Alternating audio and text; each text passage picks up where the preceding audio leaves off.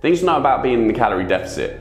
Getting into a calorie deficit is pretty easy. We see people time and time again dropping 50% of their calories. Reality is more likely to be dropping 15% of their calories and they'll do it longer term sustainable.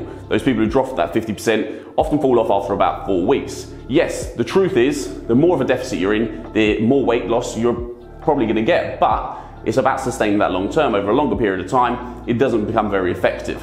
So, things you need to understand about being in a deficit. Yes, you may get hungry, okay? You may feel tired, you may feel weaker. These are all natural reactions to being in a deficit.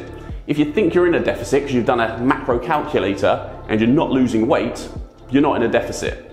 Make sure that you track multiple things, not just scale weight because that can fluctuate, but look at your measurements, maybe images, do different things, and then review that.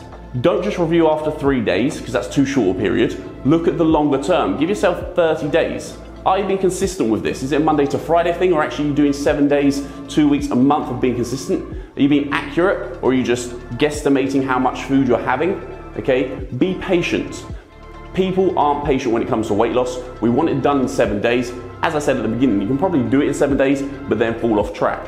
The way to sustain this long term is having the right environment around you, people around you, support around you. And yes, you might be able to attack it a little bit harder and faster as long as you know what to be doing off the back end of that to stay consistent and keep it off long term.